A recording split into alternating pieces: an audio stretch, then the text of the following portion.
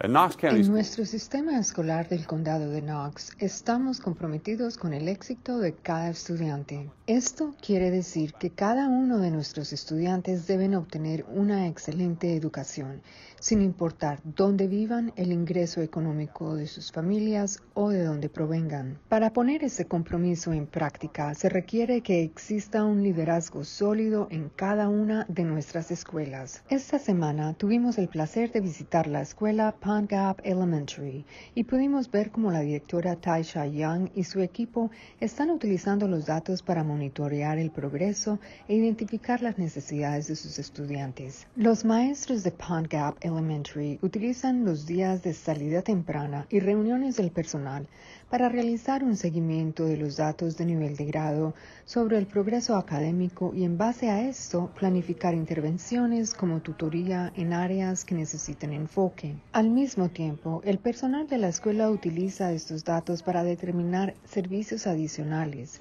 como visitas domiciliarias de trabajadores sociales, seguimiento por inasistencia escolar o apoyo alimentario. Estas acciones proactivas requieren coordinación y planificación.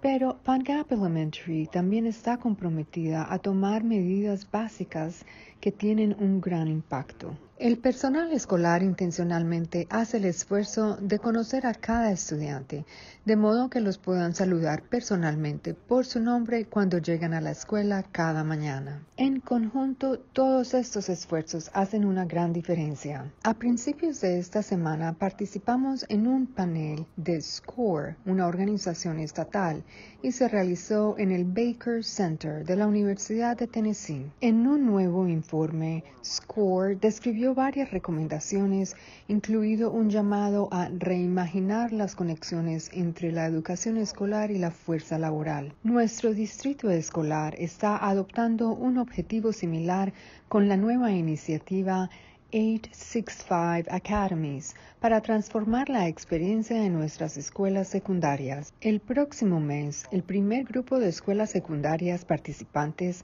darán a conocer sus trayectorias académicas con temas profesionales un logro importante para la iniciativa. Estamos agradecidos por el trabajo de SCORE para equipar a los estudiantes para el éxito después de graduarse de la escuela y estamos contentos de colaborar con ellos en este esfuerzo. Queremos recordarles a todos que las vacaciones de invierno comienzan el 22 de diciembre.